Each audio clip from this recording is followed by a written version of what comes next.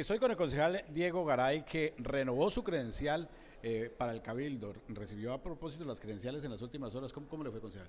Cordial saludo, José Antonio, a todas las personas que nos siguen a esta hora a través de las redes sociales del Consejo de Villavicencio. Así es, el día de ayer nos entregan la credencial, la cual nos acredita a concejales del municipio de Villavicencio para el periodo 2024-2027. La recibimos con gran alegría, gran entusiasmo, porque es el ver reflejado el trabajo que realizamos durante estos tres años y medio y que se concluyó el 29 de octubre con el respaldo de 5.319 personas en las urnas. Es de gran responsabilidad para seguir trabajando juntos por el desarrollo de esta ciudad. ¿Y qué expectativas hay entonces para el próximo periodo?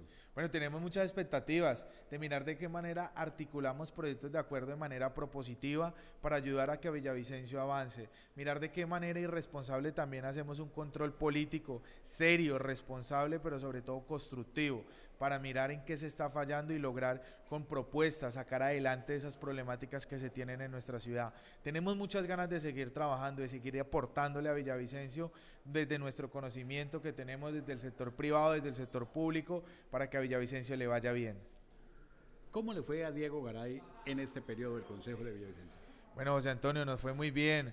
Hoy quiero contarle a la ciudadanía que participé en alrededor de 69 proyectos de acuerdo, 30 de ellos de nuestra autoría eh, 39 como coordinador y ponente, logramos contribuir en el desarrollo de grandes obras para la ciudad, fuimos los ponentes para que volvieran los CAI de policía, complejos deportivos, bueno, muchas iniciativas de desarrollo de la ciudad. ¿Que falta mucho por hacer? Falta muchísimo. Yo creo que son temas fundamentales, se tiene que trabajar en el tema de seguridad, se tiene que trabajar en el tema de movilidad, en el tema de seguir apoyando a los emprendedores de la ciudad y mirar de qué manera articuladamente se avanza en la problemática y buscándole una solución a la problemática que se tiene con el tema de agua, que hoy en día pues se tiene que trabajar mancomunadamente con el gobierno nacional, el gobierno departamental y el gobierno local para buscar una solución definitiva a este problema que atraviesa nuestra ciudad. Tenemos muchas expectativas de trabajar, de aportar y de ser un crítico constructivo y propositivo para la ciudad.